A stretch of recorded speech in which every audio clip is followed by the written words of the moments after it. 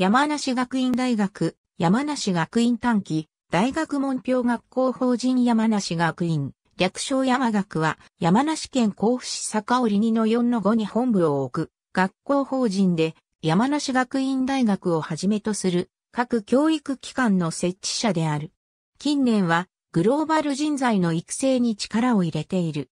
創立者、小谷新一学長造学校法人山梨学院は、1946年、小谷新一により、私立学校山梨学院として創設され、山梨県甲府市桜町に創立された山梨実践女子高等学院が起源である。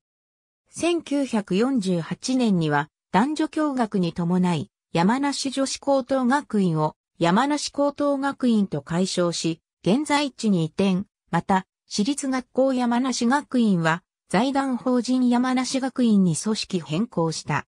1951年、私立学校法の施行により法人組織を財団法人から学校法人に変更し、山梨高等学院を母体に山梨学院短期大学を開学した。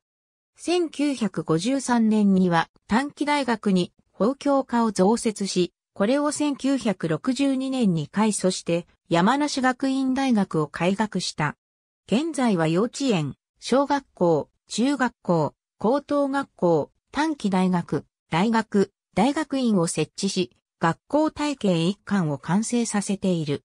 時代を作る、時代につなぐ個性派私学のオス、未来型学園のモデル校、地域文化の創造拠点を目指し、活力あふれる学園づくりを推進する。